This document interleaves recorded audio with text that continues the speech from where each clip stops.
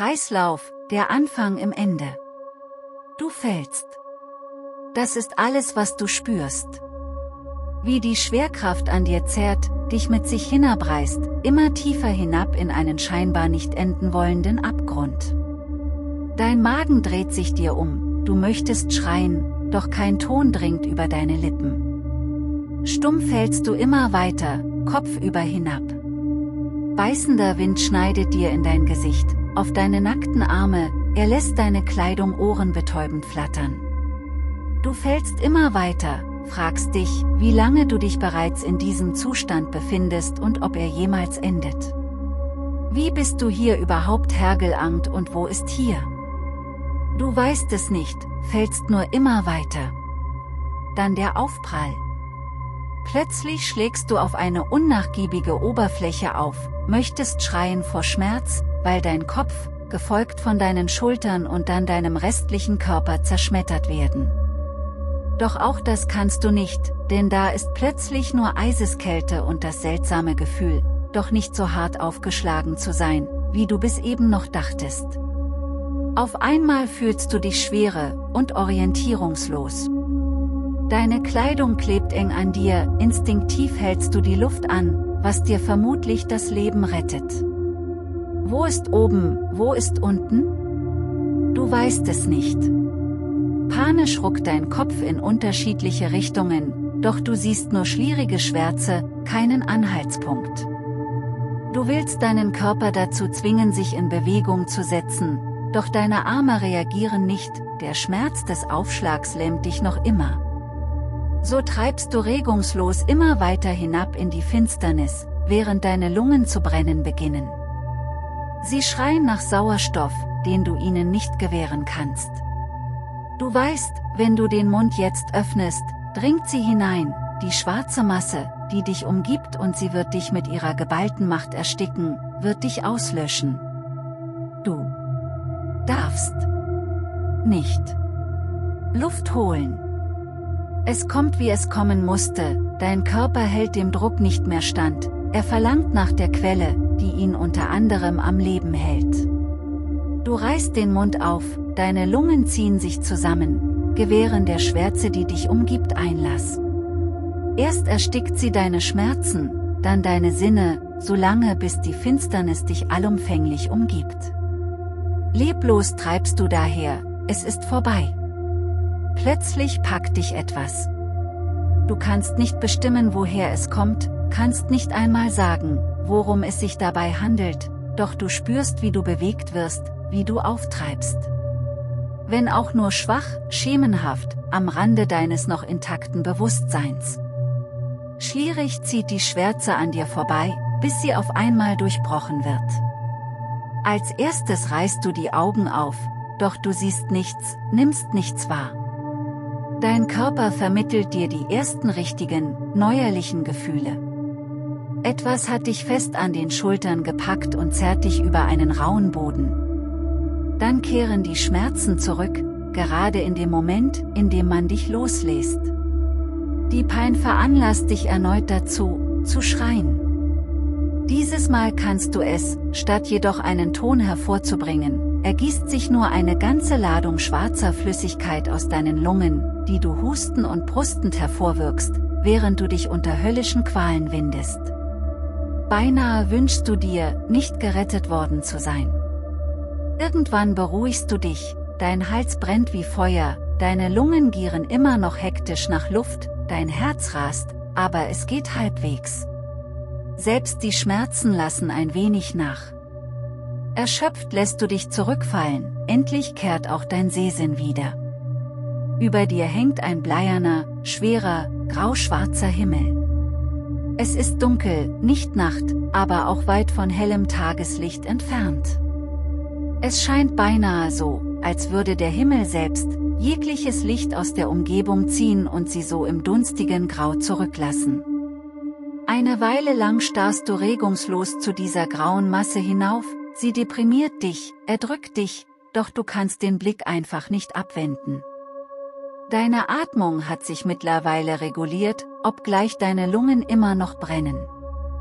Der harte, raue Untergrund, auf dem du liegst, sollte dich eigentlich dazu veranlassen, dich erheben zu wollen, doch einfach nur hier zu verharren, scheint dir im Moment leichter. Du glaubst nicht die Kraft zum Aufstehen zu haben. Um den Kopf zu drehen, dafür reicht es jedoch. Er ruckt nach rechts, wodurch du erstmalig einen Blick auf deinen Retter erhaschen kannst. Viel erkennen kannst du jedoch nicht. Die fremde Gestalt steht einfach nur da, starrt in die Richtung, in die in diesem Moment deine Füße zeigen, vermutlich auf das Wasser, aus dem er oder sie dich gerettet hat. So sehr du dich auch bemühst, du kannst das Gesicht der Person nicht ausmachen. Es liegt in einer Art Nebel, den deine Augen partout nicht durchdringen wollen. So liegst du also da, starrst eine gefühlte Ewigkeit zu dem Fremden hinauf. Irgendwo in deinem Innern empfindest du das Bedürfnis, dich zu bedanken, doch mehr aus Pflichtgefühl, denn aus wirklicher Dankbarkeit. Du weißt nicht warum, doch du befürchtest nicht wirklich gerettet worden zu sein, meinst, dass der Tod eine Gnade gewesen wäre. Bald schon sollst du erfahren, woher dieses Gefühl rührt. Irgendwann, du kannst nicht sagen, wie lange du schon so da liegst. Minuten? Stunden? Vielleicht Tage. Dreht die fremde Gestalt sich einfach um. Sie würdigt dich keines Blickes, zieht einfach in entgegengesetzte Richtung von dannen, entschwindet in die graue Dunkelheit, weit weg von diesem trostlosen Ort. Du willst aufspringen, willst ihr hinterherrennen, doch dein Körper gehorcht dir noch immer nicht.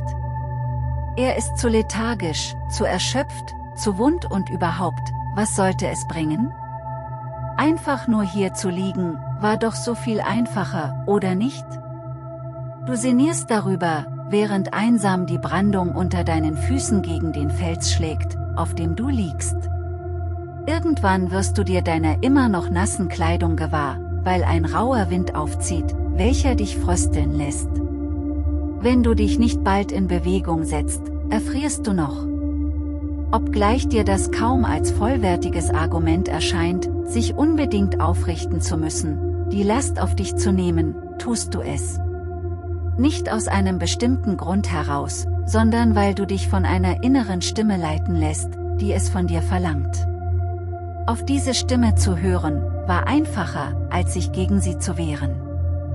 Sich gegen sie zu wehren, würde eine deutlich höhere Kraftanstrengung nach sich ziehen, die zu leisten, du definitiv nicht bereit bist. Kaum dass du dich jedoch schleppend zur Seite drehst, um deinen müden Körper hochzuhieven, spürst du wieder die Schmerzen, die dich noch immer plagen. Kaum hochgestemmt, brichst du auch schon wieder zusammen. Zu dem feinen Film Wasser, welcher immer noch an deiner Haut klebt, gesellt sich dir ausbrechender Schweiß. Dir ist eisig kalt und glühend heiß zugleich, du fühlst dich wie im Fieberwahn. Am liebsten würdest du dich wieder in deine Ursprungssituation zurückbegeben, doch die Stimme ist erbarmungslos. Sie fordert dich auf weiterzumachen, nicht anzuhalten, so schwer es auch fällt. Du leistest Folge, obgleich du sie verfluchst, ja, aus den tiefsten deiner Seele bereits zu hassen beginnst. Irgendwie schaffst du es schließlich, deinen zitternden, bebenden Leib aufzurichten, aufzustehen und nicht gleich wieder zusammenzubrechen. Du atmest tief ein und fühlst dich tatsächlich ein bisschen besser. Die Luft ist gut, auch wenn das Atmen immer noch leicht brennt. Gleichwohl fühlst du dich jedoch seltsam leer, als würde dir ein notwendiger Kraftstoff fehlen, der dich antreibt, der dich befeuert, um den Strapazen, die vor dir liegen, trotzen zu können. Und sie lagen da, oh ja und wie sie das taten. Du kannst nicht sagen, woher du das weißt, doch so ist es. Es gibt immer Strapazen, immer Hindernisse, immer Schwierigkeiten, nie war es leicht, nie problemlos schaffbar, so hatte Gott oder wer auch immer, das Leben schlichtweg nicht konzipiert. Du blickst hinaus auf das Meer aus Schwärze, das dich beinahe verschlungen hat. Ruhig geht es dahin, schwappt in regelmäßigen Abständen zu dir heran, ohne dich zu erreichen. Du lässt dich nicht täuschen, auch wenn es friedlich wirkt, spürst du die Gefahr, die von der sie ausgeht. Sie giert nach dir, lauert auf dich, um dich erneut hinabzureißen in ihre unendlichen Tiefen. Vorsichtshalber machst du ein paar Schritte rückwärts und fühlst dich gleich ein bisschen wohler, dann drehst du dich um und der Moment des Wohlfühlens geht auch schon wieder dahin. Hinter dir befindet sich nichts. Du stehst auf einem grauen Felsen, der umringt wird von grauem Sand, welcher sich ewig in die Ferne zu erstrecken scheint. Egal wo du auch hinblickst, nichts als Sand. Kein einziger Wegweiser, kein Anhaltspunkt, kein Baum, kein Haus, kein Schild, nicht einmal ein Grasbüschel, einfach nichts. Der einzige Fixpunkt dieser schier endlosen Weiten, stellt das Meer hinter dir dar. Instinktiv weißt du, wenn du jetzt geradeaus losmarschierst, hinein in die Wüste, welche sich vor dir erstreckt, wirst du den Weg nie zurückfinden. Du wirst dich verirren und elendig verrecken. Mit Eiseskälte erreicht dich das Bewusstsein, dass dir nur eine Möglichkeit bleibt. Erneut drehst du dich um, schaust auf das Meer, schaust nach links, schaust nach rechts und stellst fest, dass es sich zu beiden Seiten gleich lang erstreckt, ohne eine maßgebliche Richtungsänderung zu machen. Du wendest dich wieder nach links, springst von deinem sicheren Felsen herab und läufst in der Hoffnung irgendwann einen anderen Ort zu erreichen einfach los. Was bleibt dir auch anderes übrig? Einige Stunden später, zumindest nimmst du an, dass bereits Stunden vergangen sein müssen, sicher kannst du dir jedoch nicht sein, drehst du dich erstmalig um.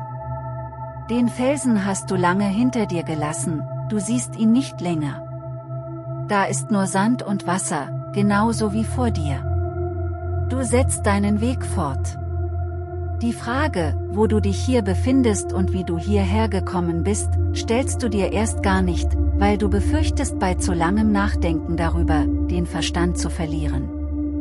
Dies ist nicht die Realität, wie du sie kennst. Deine Welt ist nicht grau, im metaphorischen Sinn vielleicht, aber nicht in Wirklichkeit, Deine Welt besteht nicht nur aus Wüste, Strand und Meer. Sie ist facettenreich, farbenfroh, grausam und kalt. Aber das hier. Das ist einfach nur Irrsinn, trist, trostlos, grauleer. Die einzigen Geräusche die du vernimmst, sind die sie, die in ihrem steten Rhythmus an den Strand schwappt, sowie deine Schuhe, welche sich knirschend durch den Sand bewegen und eklige, feuchte Geräusche von sich geben, weil sie hoffnungslos durchgeweicht sind. Kurzzeitig hast du überlegt sie abzulegen, doch jedoch dagegen entschieden. Wer wusste schon, ob du sie noch brauchen würdest? Seltsamerweise verspürst du trotz deiner langen Reise keinen Hunger und auch keinen Durst. Da ist ein Verlangen, keine Frage, doch dieses ist tiefer, abgründiger. Du sehnst dich nach deinem Treibstoff, ohne genau bestimmen zu können, worum es sich dabei handelt. An etwas anderes kannst du kaum denken, da dein zittriger, schweißdurchtränkter Körper dich immer wieder daran erinnert. Du stinkst unangenehm, ignorierst diesen Umstand jedoch geflissentlich. War ja nicht so, dass es neben dir hier irgendjemanden geben würde, der sich daran hätte stören können. Nach einigen weiteren hundert Metern, sicher bist du dir bei dieser Schätzung zwar nicht, aber was machte das schon? Bleibst du abrupt stehen. Etwas stimmt nicht. Du blickst nach rechts, zu der schwarzen See, die anders als noch vor wenigen Sekunden auf einmal nicht mehr ruhig dahintreibt, sondern ganz im Gegenteil, zu tosen beginnt. Für einen Unbeteiligten, der erst wenige Minuten hier verbracht hat, wäre der Unterschied vermutlich kaum merklich gewesen, doch du, der du bereits mehrere Stunden, oder Tage? Wochen? Hier verbracht hast, siehst ihn sofort. Die Oberfläche wirkt auf einmal rauer, unruhiger, brodelnd, als würde sie sich auf etwas vorbereiten auf einen Angriff, wie du auf einmal erschrocken feststellst. So schnell wie es dann geschieht, kannst du kaum reagieren. Plötzlich wird das Wasser spiegelglatt, stoppt jegliche Bewegung und zieht sich dann binnen weniger Sekunden zurück, so weit, dass du es kaum noch sehen kannst. Doch du weißt, dieser Zustand wird nicht lange anhalten und du sollst Recht behalten. Schon einen Wimpernschlag später, den du immer noch damit verschwendest stillstehen zu bleiben und den dümmlich dreinblickenden Beobachter zu spielen, kommen die Wassermassen zurück. Wellenartig, gewaltig, aufbrausend, alles auf ihrem Weg verschlingend. Sie werden nicht kurz vor dir anhalten, nicht wenige Meter vor dir zusammenbrechen, sie werden dich überrollen, verschlingen und mit sich reißen. Endlich schaltest du. Du ignorierst deine Schmerzen, deinen zitternden Leib, deine Schwäche, deine Antriebslosigkeit. Alles was jetzt noch zählt ist wegzukommen, von dieser unkontrollierbaren Regung des Schwarzen Meeres. Du drehst dich nach links, rennst los und kommst gerade einmal drei Schritte weit, ehe dein Fuß in dem weichen Sand unter dir einsackt und dich stolpern lässt. Sanft fängt selbiger dich auf, doch waren potenzielle Schmerzen des Sturzes das Letzte, was dich gerade interessieren. Ehe du dich aufrappeln kannst, ergießt sie sich auch schon über dich, die erste Welle. Krachend geht sie auf dich nieder, mit einer Gewalt, als würde ein Vorschlaghammer in deinen Rücken und auf deine Glieder geprügelt. Es treibt dir die Luft aus den Lungen, lässt dich erstarren vor Kälte und was am schlimmsten ist, während die schwarze Flüssigkeit sich zurückzieht, reißt sie dich mit. Mit Händen und Füßen wehrst du dich, krallst dich in den Sand fest, welcher sofort bröckelnd gelockert wird, so dass er dir keinen Halt bietet. Glücklicherweise ist das Wasser schneller als du, weswegen es irgendwann von dir lässt. Viel Zeit zum Erholen hast du jedoch nicht. Schon rappelst du dich wieder auf, schaffst es dieses Mal auch, und rennst erneut los. Du hast gerade erst die verlorene Strecke wettgemacht, da bricht auch schon die nächste Welle drohend über dir heran, du spürst ihren Schatten über dir hängen, noch bevor sie über dir zusammenbricht und dich in die Knie gehen lässt. Die Schmerzen sind kaum zu ertragen. Erneut krallst du dich im Sand fest. Die Welle schwindet, ohne dich fortzunehmen. Dieses Mal die nächste wird nicht so gnädig sein, dessen bist du dir sicher. Du musst hier weg, weiter, immer weiter, bevor das tosende Meer dich zerreißt. Doch du kannst nicht mehr, deine Kräfte sind aufgebraucht. Du zitterst nicht länger, du schüttelst dich regelrecht. Neben dem Wasser läuft der Schweiß dir schon wieder in Strömen herab. Hättest du einen Spiegel vor dir, du hättest dich totenbleich wie du dich fühlst, vermutlich kaum wiedererkannt. Und dennoch die Stimme in dir verlangt mit fordernder, ruhiger Stimme, dass du weitergehen musst, dass du dich dagegen stemmen musst. Du tust, was man von dir verlangt, obwohl du nicht mehr willst, obwohl du dich lieber ergeben willst. Obwohl du dich selbst, lieber aufgeben willst. Da du nicht glaubst, noch einmal aufstehen zu können, gehst du einfach auf Knien weiter. Schleppst deinen halbtoten Körper immer weiter. Eine Hand vor die andere, die Knie nachziehend, bewegst du dich nur quälend langsam voran, während eine Welle nach der anderen auf dich niedergeht, dich immer weiter zu Boden drückt, dich immer wieder zurückreißt. Doch du gibst nicht auf, weil du zu schwach bist, dich gegen die Stimme zu wehren, weil sie die Leitung übernommen hat. Dann kommt er, der Moment, der dir einen Ausweg offenbart.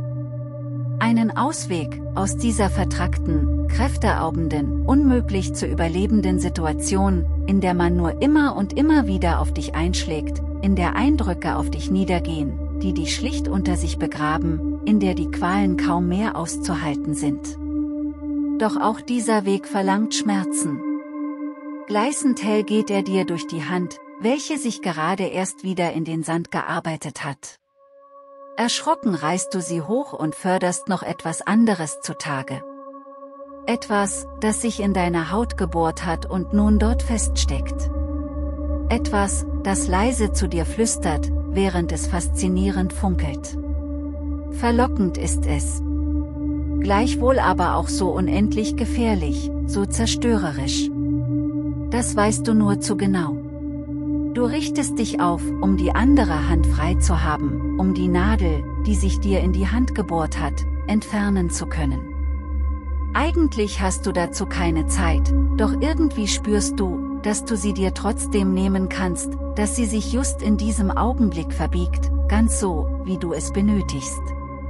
Du starrst die Nadel an, welche mit einer dünnen Spritze verbunden ist. Alles wird sich deinem Willen fügen, wenn du diesen Weg weiter bestreitest, dann brauchst du dich nicht mehr zu fürchten, brauchst nicht mehr wegzulaufen, nicht deinen Qualen erliegen. Dein Blick huscht nach oben, weiter in die Ferne. Einmal darauf aufmerksam geworden, siehst du hunderte, funkelnder Nadeln aus dem Sand hervorstechen. Es wird wehtun, sich an ihnen entlang zu hangeln, doch anders als der weiche Sand, werden sie nicht nachgeben. Wie Rettungsanker, wirst du dich an sie klammern können, wirst dich vergleichsweise spielend leicht aus dieser vertrackten Situation arbeiten können. Die Wirkung der ersten Nadel lässt nach, du hörst sie bereits wieder heranrauschen, die tosende sie, gewaltiger nun, bedrohlicher. Sie brüllt und schreit und kreischt, macht sich bereit, sich an dir zu laben, dich zu zermalmen, dir jeden Knochen zu brechen, doch durchzukauen und verkrüppelt und verstümmelt wieder auszuspucken. Glaubst du, sie wird dir danach Ruhe gönnen? Oh nein, das wird erst der Anfang sein. Es wird immer so weitergehen, immer wieder wird sie dich zu fassen bekommen, dir gerade genug Zeit geben, dich halbwegs zu erholen und dann erneut hervorbrechen. Dein Blick stellt sich. Achtlos wirfst du die Nadel weg und lässt dich nach vorne fallen. Zwei neuerliche Spritzen werden durch deine Hände gejagt, Du zischst leise, es ist okay, es ist erträglich. Erneut beginnst du dich vorzuarbeiten, vorzuschleppen. Mit jedem Stich wächst deine Widerstandskraft gegenüber der sie. Sie hämmert immer noch auf dich ein, doch du spürst es kaum noch. Sie zerrt nicht mehr an dir, sondern klopft nur dumpf an den Rand deines Bewusstseins. Mit jedem Schritt spürst du auch die Stiche weniger und das obwohl immer mehr Nadeln sich in deinen Körper bohren.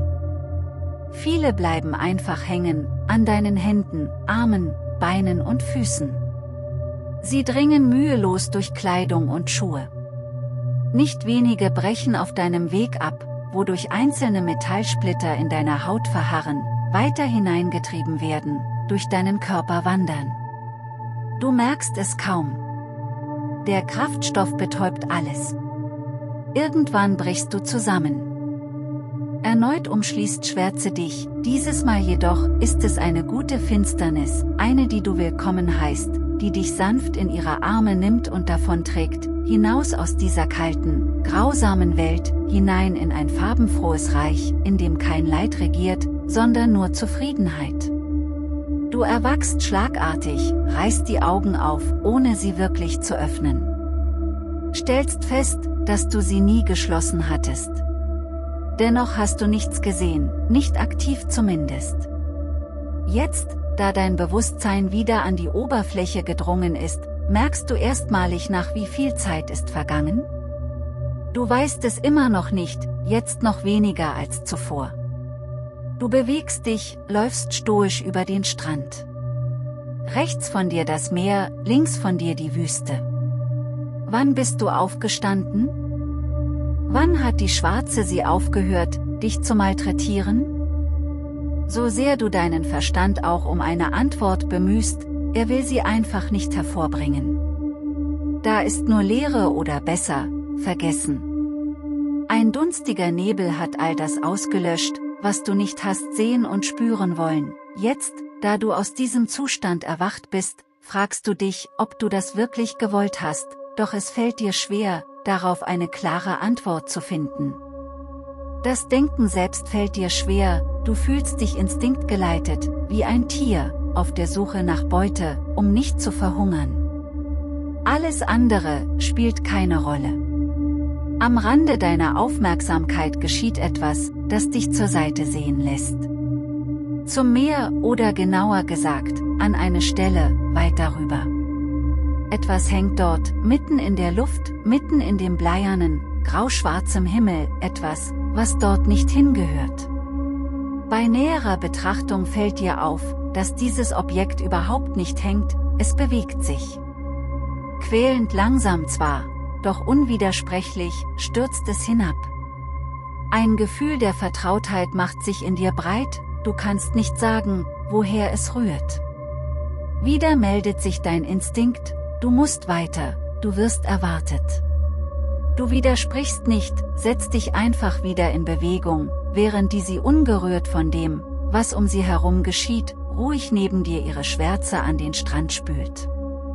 Irgendwann erreichst du ihn schließlich, deinen Bestimmungsort. Und keine Sekunde zu spät.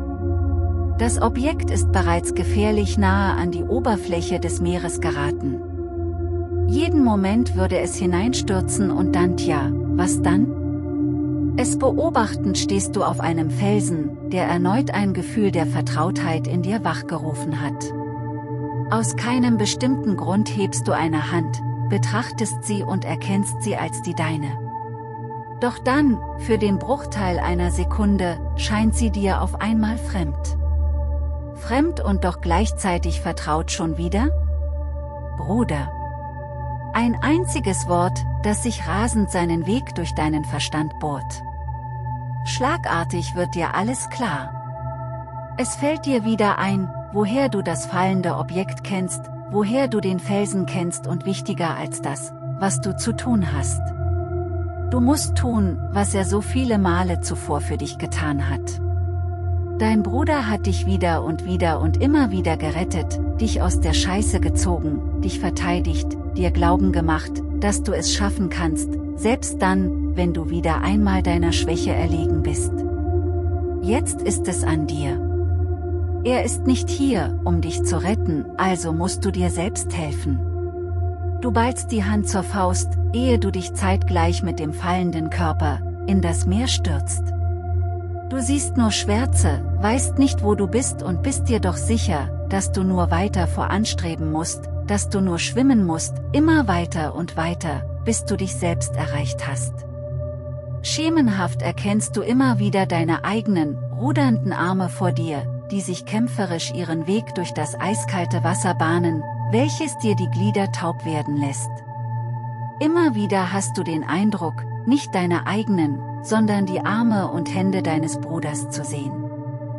Er gibt dir die Kraft, die du brauchst, um nicht auf halber Strecke zu versagen. Schließlich erreichst du den Körper, erreichst deinen Körper. Du packst ihn, zerrst ihn mit dir, schwimmst mit ihm zurück zu dem Felsen, von dem du instinktiv weißt, wo er sich befindet.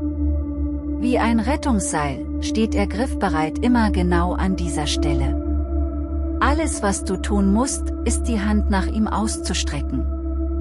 Du streckst sie aus, du erreichst ihn, du rettest dich selbst schleifst dich auf den Felsen, auf dem du dich krümmend und windend von der Pechschwärze des Lebens befreist, die dich immer wieder zu ersticken droht, die dir ein ums andere Mal, zu viel geworden ist, dich zu den Verlockungen eines einfacheren Weges getrieben hat.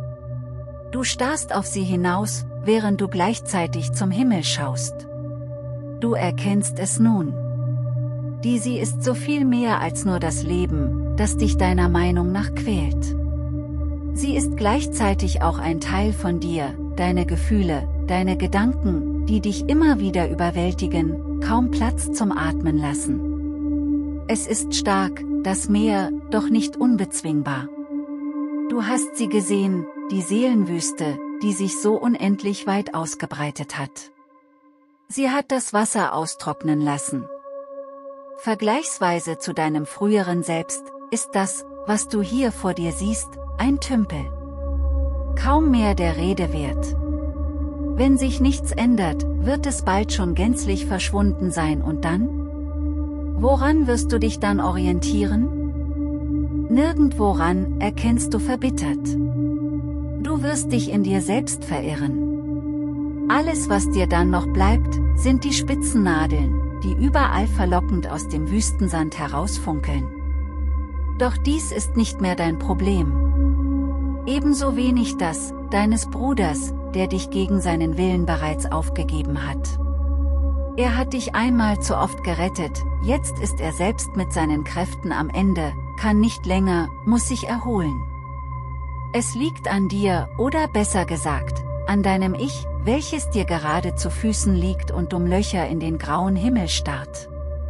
Es liegt an ihm, den Kreislauf zu durchbrechen, den Weg entlang zu schreiten, den du bereits hinter dich gebracht hast und einen Ausweg zu finden, welcher nicht in Betäubung endet. Denn Betäubung bringt nur Vergessen mit sich und wenn du erst einmal alles vergessen hast, dann regt sich kein Lüftchen mehr in deiner Seele und erst recht keine sie. Dann wird der Wüstensand dich restlos austrocknen und nichts als eine verdorrte Leiche übrig lassen. Du wendest dich von der sie ab. Es wird Zeit. Dein Weg endet hier. Du wanderst hinaus in die endlose, leere, graue Wüste. Dein Weg beginnt gerade erst von neuem. Unter Qualen und Schweißausbrüchen erhebst du dich, um dem Meer zu folgen und den Kreislauf erneut zu bestreiten.